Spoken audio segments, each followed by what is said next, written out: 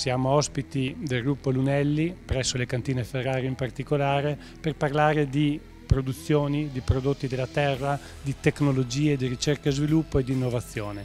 Ne parliamo con Alessandro Lunelli che è titolare, che ricopre anche molte funzioni direttive all'interno delle varie società del gruppo. Parlare del gruppo Lunelli vuol dire parlare della nostra storia, delle nostre tradizioni e soprattutto della nostra origine. Tutto nasce dal sogno di un uomo, Giulio Ferrari, che nel 1902 creò le prime bottiglie di quello che oggi si chiama Trento Doc, ovvero un metodo classico. E Giulio Ferrari creò queste prime bottiglie di grandissima qualità e per 50 anni condusse l'azienda, pensando solo all'eccellenza del prodotto. Questa eccellenza la trasmise poi a mio nonno, che nel 1952 rilevò l'azienda, e poi la, l'esperienza, la tradizione vennero, tra, vennero trasmesse a mio padre e ai miei zii che continuarono questa tradizione fino a tutti gli anni 90. Dagli anni 2000 siamo noi della terza generazione, io, mia sorella Camilla e due cugini, a guidare l'azienda e a innovare e a sperimentare per il futuro della nostra realtà.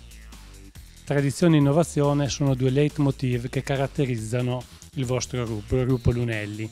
Ci parli un po' dell'innovazione, cosa significa innovazione per la vostra azienda, per il vostro gruppo? Innovare non vuol dire infatti solo 4.0, solo digitalizzazione. Innovare vuol dire modificare ogni giorno, passo dopo passo, quello che si fa per migliorarsi. Quindi l'innovazione la vediamo a 360 gradi. Un'innovazione epocale, grandissima degli ultimi 5-10 anni, ad esempio, è tutto il mondo della comunicazione, del mondo dei social e dei digital quindi da una comunicazione standard televisiva mh, mm, o anche giornalistica che abbiamo sempre poco usato, siamo passati a una comunicazione sul mondo dei social e degli influencer che è diventata pervasiva e molto potente, molto forte. Questo è un modo di innovare molto semplice per dimostrare che non tutto è 4.0. La sostenibilità, un altro punto fondamentale. Abbiamo trasformato tutte le nostre campagne in biologiche perché crediamo che questo sia un valore per il futuro, sia del nostro consumatore che del nostro prodotto e quindi innovazione all'interno del prodotto inteso come trasformazione al biologico. O innovazione vuol dire nuovi prodotti, il lancio del Perle Bianco di poco tempo fa, del Perle Nero, del Giulio Ferrari Rosé, di Auritea, un bellissimo Cabernet Franc lanciato nella nostra tenuta in Toscana. Quindi innovazione nel lancio di nuovi, nuovi prodotti. Innovazione anche nelle risorse umane. Innovare vuol dire ad esempio creare un welfare aziendale che abbiamo creato da alcuni anni per cercare di aiutare i nostri collaboratori a sentirsi sempre meglio in azienda e quindi ovviamente anche a lavorare meglio.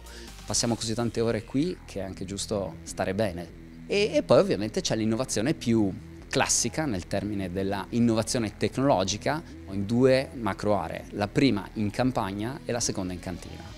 In campagna è un'innovazione che è lunga, è lentissima, ma anche da un certo punto di vista eh, è stata accelerata negli ultimi decenni grazie all'innovazione tecnologica.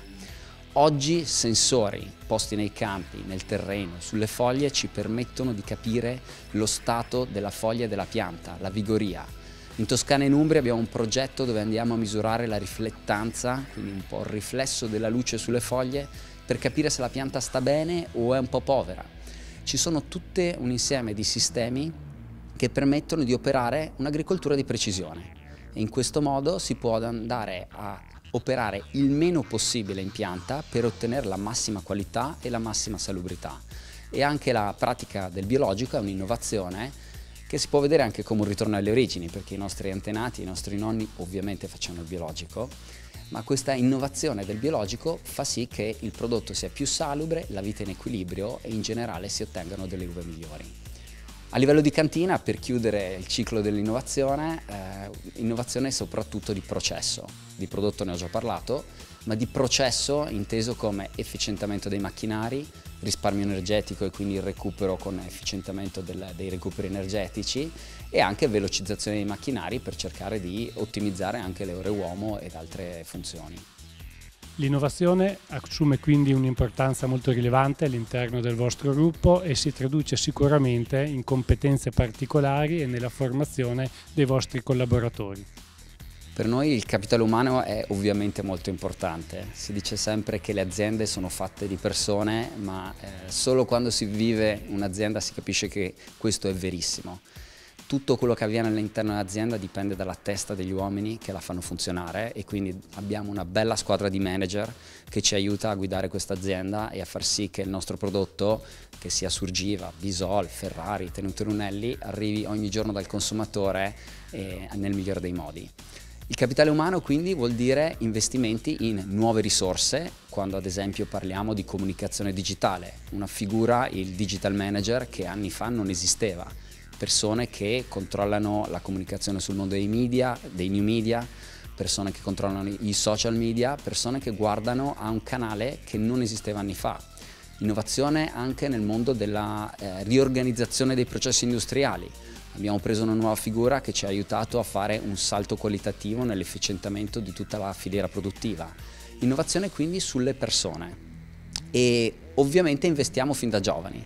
Quindi talvolta prendiamo manager formati e molto capaci, ma abbiamo numerosi stagisti e persone che, che non ancora lavorano, che sono a scuola, dall'alternanza scuola-lavoro alla formazione, che entrano in azienda, stanno da noi mesi o al massimo un anno per cercare di imparare, poi tornare a finire l'università e entrare nel magico mondo del lavoro. L'ultimo tema è quello dell'internazionalizzazione. I mercati internazionali rappresentano una grande sfida, ma anche eh, sono la chiave del successo di aziende che riescono a portare il nostro territorio trentino in giro per il mondo come vengono scelti i mercati stranieri, i mercati esteri su cui puntare, quali sono le leve su cui puntate? Il mercato del vino e quello anche delle bollicine, dell'acqua, del prosecco segue un po' la storia dei grandi mercati quindi con grandi mercati parlo di Giappone, Germania, Inghilterra e Stati Uniti, i classici eh, grandi paesi che ci si aspetterebbe. Questi sono i mercati dove noi stiamo investendo molto anche in tema di capitale umano con dei resident manager, quindi con delle persone che vivono fisicamente in quei mercati e riescono a seguire da vicino il nostro importatore e aiutarci da un lato nella comunicazione e dall'altro nella distribuzione del prodotto. Ma oltre a questo ovviamente cerchiamo di far nascere nuovi mercati perché la sfida dell'internazionalizzazione è la vera sfida della crescita della gran parte delle nostre aziende. Eh, rimanere chiusi in un'italianità è un rischio enorme di diversificazione aziendale e anche di futuro nel lunghissimo periodo. Invece riuscire a esportare in moltissimi paesi, oltre che una piccola soddisfazione per il nostro Trento Doc, eh, le nostre acque, i nostri prosecchi, una, oltre che un orgoglio, è anche una necessità per la crescita aziendale. Quindi stiamo investendo anche in mercati, chiamiamoli non eh, principali come quelli appena citati, parliamo di Svezia, Svizzera, Brasile, Canada, anche Cina per quello, ma sicuramente i Big Four o 4, 5, 6 paesi maggiori saranno quelli che daranno più soddisfazione. Certo è che ultimamente tra Brexit, dazi dietro l'angolo ed altre difficoltà dobbiamo muoverci su una strada sterrata col bagnato e sempre attenti a non perdere il controllo. Diamo una dimensione al gruppo Lunelli in termini di fatturato, in termini di addetti, in termini anche di mercati internazionali su cui il vostro gruppo agisce. Ormai il gruppo Lunelli ha superato i 100 milioni di euro, abbiamo fatto più 6%, questi numeri ancora da confermare, ma nel 2019 dovremo essere a 107 milioni, quindi con una crescita del 6% sull'anno precedente e un gruppo ormai di 260 persone, prevalentemente in Trentino ma anche in altre regioni d'Italia. Un gruppo che eh, esporta in oltre 70 paesi e che spero e credo continuerà a crescere e portare il nome del Trentino e delle altre regioni italiane in cui siamo presenti in tutto il mondo. Grazie Alessandro, adesso ci trasferiamo nei vigneti di Villa Margon.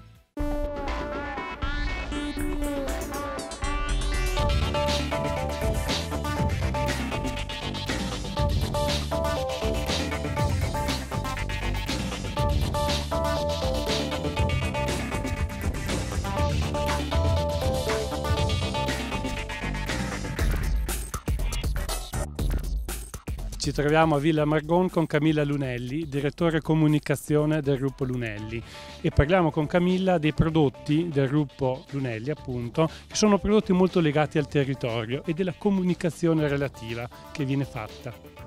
Sì, noi teniamo moltissimo al legame del, di tutti i prodotti del nostro gruppo, in particolare di Ferrari, con il territorio e in particolare col nostro Trentino. Non a caso parliamo sempre di Trento Doc per indicare le nostre bollicine, proprio perché noi riceviamo la qualità dei vini che produciamo dalla grande vocazione delle montagne del Trentino e siamo quindi anche felici di restituire in un certo modo, in un circolo virtuoso, appunto dando comunicazione, raccontando le bellezze della nostra terra.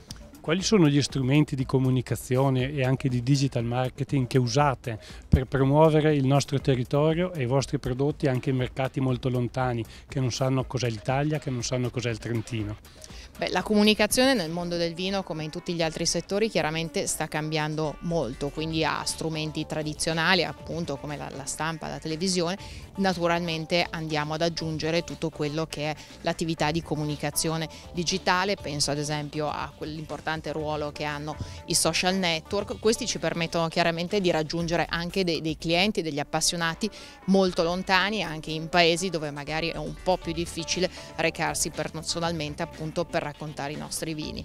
Uno strumento di comunicazione molto tradizionale ma in cui, in cui continuiamo a credere molto è il fatto di portare qui le persone, portarle in cantina a Villa Margon, far apprezzare loro i piatti de, della locanda Margon proprio perché l'esperienza poi vissuta, diretta, resta comunque un modo assolutamente unico ed efficace di, di trasmettere i prodotti e il territorio che sta alle spalle.